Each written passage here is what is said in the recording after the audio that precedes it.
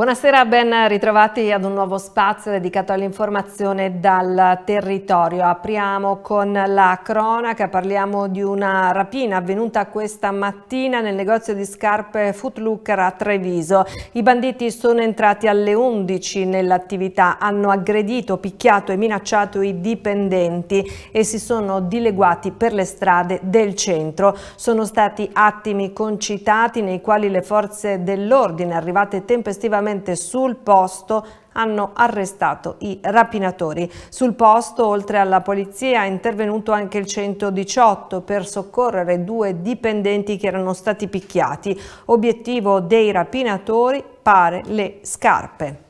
E adesso andiamo a Belluno dove questa mattina si è verificato un incidente stradale in via Tiziano Veceglio. Un'automobile finita rovesciata dopo la perdita di controllo da parte del conducente rimasto ferito insieme a un bambino. Vediamo. Alle 8 di stamattina i vigili del fuoco sono intervenuti in via Tiziano Veceglio a Belluno per un'auto finita rovesciata dopo la perdita di controllo da parte del conducente, rimasto ferito insieme ad un bambino. I pompieri arrivati dalla sede centrale hanno messo in sicurezza l'auto ed estratto il conducente rimasto incastrato, preso in cura dai sanitari insieme al minore e trasferiti entrambi in ambulanza al pronto soccorso. Le operazioni di soccorso dei vigili del fuoco sono terminate dopo circa un'ora e mezza.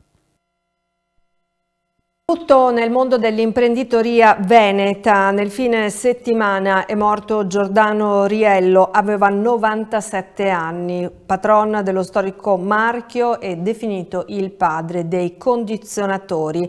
Viveva in provincia di Verona. Alla domanda se uno nasce imprenditore o lo diventa, aveva risposto mi è servito molto essere nato in una famiglia di imprenditori dove il lavoro era una costante, persino a tavola, così come sono stato fortunato ad avere dei bravi maestri e sono tantissimi messaggi di cordoglio in sua memoria in queste ultime 24 ore. Emergenza a Treviso e provincia dove sono in corso le ricerche di una donna di 76 anni che si è allontanata da casa senza più farne rientro. La signora soffre di problemi di memoria e sono ore di grande apprensione per la famiglia. La donna si sarebbe allontanata da Sernaglia della Battaglia. È stato attivato il piano predisposto per questi casi e tutte le forze di soccorso in campo sono coordinate dalla prefettura di Treviso. E adesso andiamo a Preganziol dove in questo fine settimana si è sviluppato un, un, incendio, un incendio a quanto pare potrebbe anche essere doloso che ha coinvolto un market molto grosso. Vediamo il servizio cosa dice.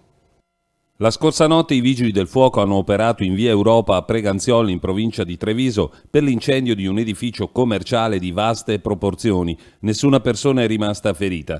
Le squadre dei Vigili del Fuoco arrivate da Treviso, Castelfranco, Mestre e Asolo con tre autopompe, quattro autobotti, due autoscale, un carro aria e 30 operatori, coadiuvati dal capo servizio e il funzionario di guardia, sono riusciti a circoscrivere le fiamme evitando il coinvolgimento delle altre strutture commerciali attigue. L'incendio ha coinvolto un market di abbigliamento, casalinghi e piccoli elettrodomestici e diverse altre attività presenti nello stesso stabile.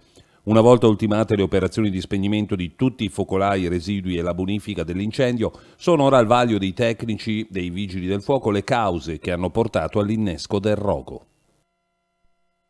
L'altra sera in centro a Montebelluna un gruppo di giovani ha creato il caos con una serie di atti vandalici e violenze che hanno spaventato i residenti oltre ad aver lasciato una eh, numerosa scia di danni agli arredi urbani. I giovani sono stati poi protagonisti di una maxi rissa sul posto i carabinieri. Gli abitanti chiedono interventi urgenti all'amministrazione comunale per garantire la sicurezza. Domani pomeriggio in provincia di Treviso si svolgeranno i funerali di Lino e Rosanna, i coniugi uccisi dal fratello di lui. Un duplice omicidio che ha sconvolto il territorio, delitto avvenuto il 3 maggio. Le esequie si terranno alle 15.30 di domani.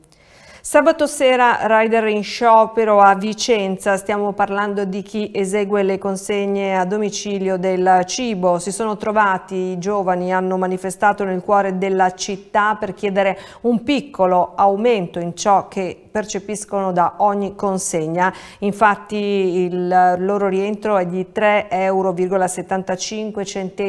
a consegna e chiedono 25 centesimi in più per arrivare a 4 euro.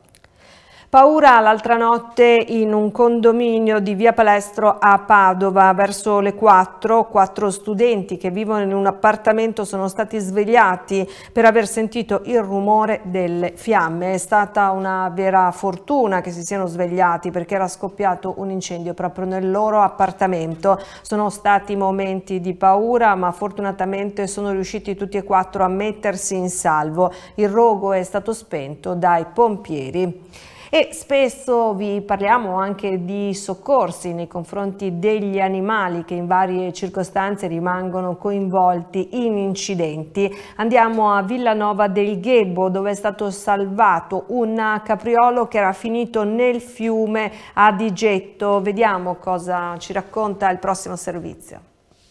Nel pomeriggio di ieri i vigili del fuoco sono intervenuti a Villanova del Ghebbo, in provincia di Rovigo, nei pressi di via Valdentro per il recupero di un capriolo in difficoltà nel fiume Adigetto. L'animale, ormai esausto, impossibilitato a risalire l'argine, è stato tratto in salvo da una squadra dei pompieri di Rovigo con l'ausilio di un gommone. Portato a terra è stato assistito dai vigili del fuoco e da un veterinario fatto intervenire sul posto. Il capriolo ha in breve tempo recuperato le forze ed è stato liberato in una zona verde. Le operazioni di soccorso sono terminate dopo circa tre ore. E adesso parliamo della giornata di grande festa nonostante il tempo incerto della Pink Run che, era, che, si è svolta in Prato della Valle a Padova. Era presente anche il comune settore servizi sportivi con un progetto molto importante. In occasione di questo evento, grazie alla collaborazione degli organizzatori, è stato lanciato un flash mob che ha coinvolto le 5.000 circa partecipanti prima della partenza per sensibilizzare sul tema delle molestie verbali di cui possono essere oggetto proprio le donne che praticano sport individuali al di fuori delle strutture sportive, proprio come avviene per la corsa. Durante la giornata è stato inoltre distribuito materiale informativo su questo progetto. E ancora a Padova in primo piano, questa volta andiamo alla fiera che è stata protagonista durante questo fine settimana c'era Emanuele Compagno. Fiera campionaria di Padova, la manifestazione è cominciata sabato 13 maggio, è continuata domenica 14 maggio e anche lunedì 15 per poi riprendere venerdì, sabato e domenica prossima. Tante le novità che si possono trovare qui a Padova, dai prodotti tipici alle automobili ma anche all'arredo per la casa o ai prodotti per la bellezza.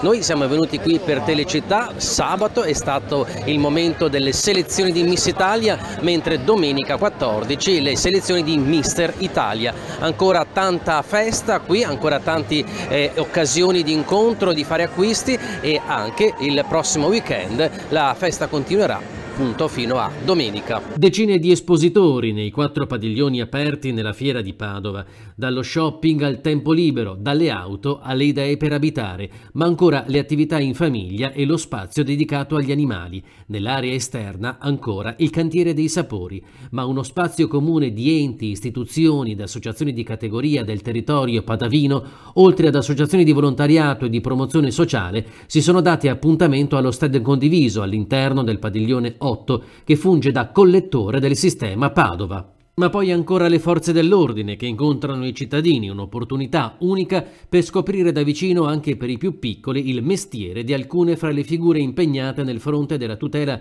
della sicurezza del territorio, avvicinando le forze dell'ordine ai cittadini. Nel padiglione 4 sono presenti quest'anno la polizia, i carabinieri, l'esercito e la guardia di finanza. Ma la fiera di Padova significa anche eventi. Sabato 13 maggio si è svolto l'atteso appuntamento con Miss Ascom Campionaria 2023, il tradizionale evento che si inserisce all'interno delle selezioni ufficiali di Miss Italia. Ma domenica 14 maggio è tornata per la seconda volta in campionaria dopo il successo dell'edizione 2022 l'appuntamento con Mister Italia nel palco esterno. I concorrenti si sono contesi la fascia di Mister Ascom Padova, ma presso lo spazio civico 78 ogni giorno verrà proposto un talk a tema in cui il dialogo fra gli ospiti con taglio leggero si intreccerà alla musica proposta da talenti padovani.